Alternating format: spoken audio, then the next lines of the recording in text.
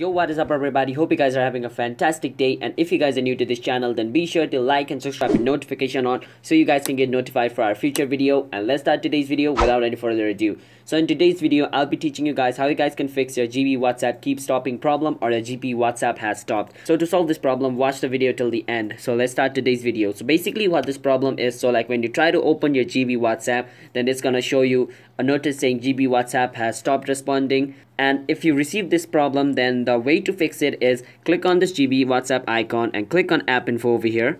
And after clicking on app info you're gonna come to this page click on storage usage and click on clear cache after clearing the cache go back and go on permission over here. And on permission make sure all this permission is turned over here. Some of my permissions are turned off but make sure all of your permission is turned. After turning on all your permission go back and then try to open GB WhatsApp again. If, if it still doesn't work then the last option is go on the app info again. And on app info click on storage usage. And on storage usage remember by doing this all your chat is going to be deleted on your GB WhatsApp if it is not backed up. So use this as the last resort like before doing this make sure to restart your phone because if it is a problem with your phone then restarting your phone can fix it. And if you have a slow internet connection you sometimes face this problem as well. So make sure you have a stable internet connection. So the last option is to clear data. If you haven't backed up your chat then it's going to be deleted. So click on clear data and then click on clear. This is going to clear all the data of your GB WhatsApp and then make it new. And once you open it you need to relog into your account and that should fix your problem.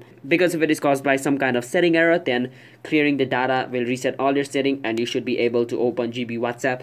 And if it still doesn't work then the last resort delete GB WhatsApp and install it again. That should fix it. Because if it is caused by some kind of corrupted data or file then deleting WhatsApp GB is the only resort to fix it so if you guys found this video helpful, then be sure to like and subscribe with notification on and comments on below what type of video we should make next. And if you guys have any question related to this video, feel free to comment. And I'm signing out. Have a nice day everybody. Bye bye and peace out.